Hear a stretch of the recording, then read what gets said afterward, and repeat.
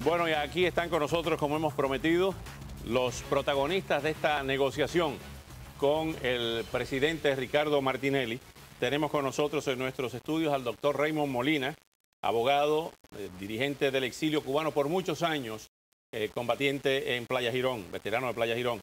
Y el doctor Lorenzo Palomares, prestigioso abogado cubano-americano, eh, miembro del Partido Republicano. Muchas gracias por estar con nosotros esta noche. Gracias por tenernos. Eh, y vía Skype desde Panamá tenemos a- al doctor Guillermo Cochés, eh, ex embajador de Panamá ante la Organización de Estados Americanos y quien fue el instrumental, eh, quien fue la persona que fue a hablar con el presidente Ricardo Marti- Martinelli para buscar una salida a este impasse. Eh, doctor Guillermo Cochés, buenas noches. Eh, nuevamente cuéntenos, está aquí con nosotros en, los estudios, están aquí el doctor Raymond Molina y el doctor Lorenzo Palomares. Usted esta mañana reveló que ellos fueron los que se acercaron a usted, conversaron con usted para que usted hiciera la gestión ante el presidente panameño. Buenas noches. Buenas noches, un saludo a mis amigos Molina y Palomares y a ti en particular, Oscar, por esta oportunidad. En efecto, eh, ellos me llamaron el viernes pasado para que yo hiciera gestiones para la colocación en Panamá, a ver si Panamá podía aceptar eh, a, a- a 19 cubanos balseros de los que estaban en Bahamas. Inmediatamente le envié un correo explicativo al presidente Ricardo Martinelli y a los pocos minutos me contestó que sí, que procediéramos y hemos estado en conversación con, con el canciller que hoy decidió eh, nombrarme como embajador en misión especial para tratar de resolver esto lo más rápidamente posible y se, sean trasladados a Panamá los balseros que están en Bahamas y que según tengo entendido no han sido tratados en forma correcta.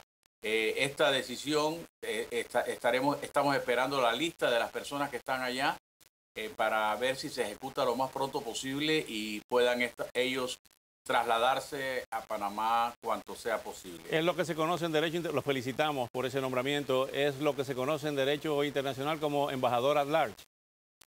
Puede ser, pero co- le puse una condición, que no quería ninguna remuneración, así que es un nombramiento ad honorem. Ad honorem. Eh, do- doctor Guillermo Cochés, ante su posición con el gobierno de Nicolás Maduro, la influencia de La Habana en Venezuela, porque esto tiene también implicaciones políticas eh, eh, fuertes, eh, ¿qué consecuencias, qué, qué reacción cree usted que tendrá el gobierno de La Habana y el gobierno de Venezuela ante esta decisión valiente del presidente Martinelli? Yo no creo que el gobierno de Cuba se moleste porque esta es una decisión de tipo humanitario. Es sabido y conocido por todos que muchos cubanos salen de Cuba en busca de mejores días, mejores oportunidades, ya que la situación económica de Cuba es altamente conocida como muy, muy frágil y muy débil. No creo que por un asunto humanitario que ha, vi- que ha visto en Panamá a su receptor eh, vaya a haber ningún problema con el gobierno cubano. Eh, ¿Cuál sería el estatus al llegar a tierra panameña de, esta- de estos 19 cubanos? El estatus Estos van a migratorio. tener el estatus de refugiado, pero tengo entendido que por la relación que deben tener con, con personas eh, en Miami y en otras partes de Estados Unidos, la relación familiar que puedan tener, ellos serán reclamados en un espacio de 60 o 90 días, podrían estar en los Estados Unidos. Eh, quédese ahí un momento más, eh, por favor, embajador Cochés.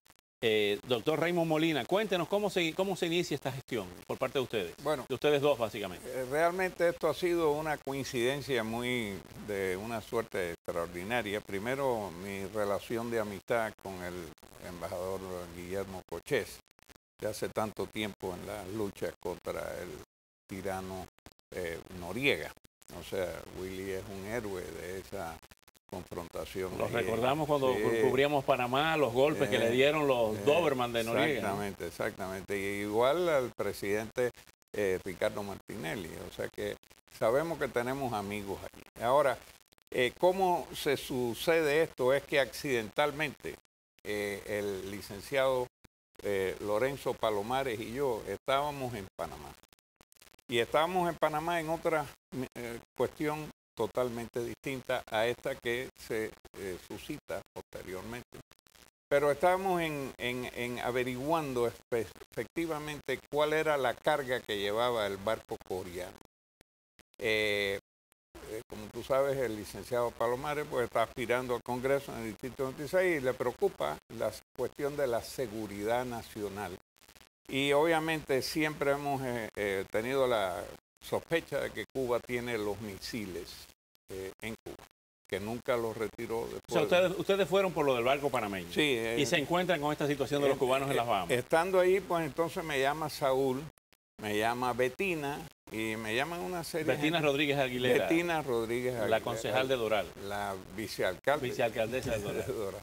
Entonces, pues nos hacen esta solicitud. Obviamente esto es una cuestión humanitaria y esto fue como se trató. Inmediatamente llamé a, mi amigo eh, el embajador Guillermo Coché, y ahí es que comienza la cuestión donde eh, Lorenzo y yo pues nos vamos a su oficina, charlamos con él y él obviamente no demoró un segundo en, comenzar las gestiones con el señor presidente, que estaba en Colombia en aquel momento.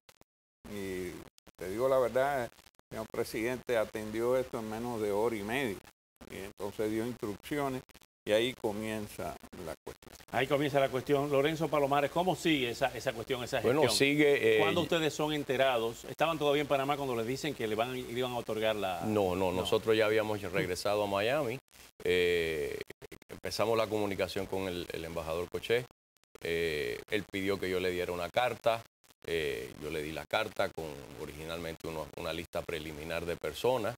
y, como dijo el embajador, esto no demoró nada. En lo que yo le envié al embajador la carta a nombre del presidente, a través de él, pues inmediatamente eso, eso sucedió. ¿Las autoridades de Bahamas eh, respondieron inmediatamente que sí, que accedían a ser enviados a Panamá? Nosotros no tenemos ninguna relación con Bahamas. Lo que sí sé eh, es que aparentemente eh, las autoridades bahamenses están dispuestos a darle la salida a los cubanos una vez que tengan un lugar que los reclamen y les permita. La, carta mía al, señor presidente, que fue a través del, embajador Coche, yo le eh, suministré una carta oficial de Cancillería de las Bahamas donde dice que se pueden ir todos.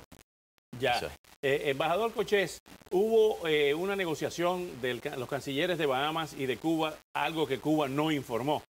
¿Usted cree que en esa mm, conversación se dio la luz verde para que esos cubanos fueran a Panamá?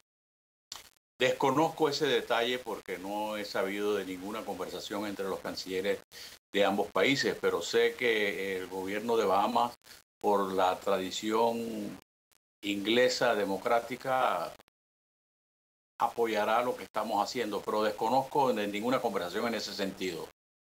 Bueno, eh, había salido en la prensa que el subsecretario de Estado de Estados Unidos había, viajado a Naso y que el canciller eh, de Bahamas viajó a La Habana el pasado viernes.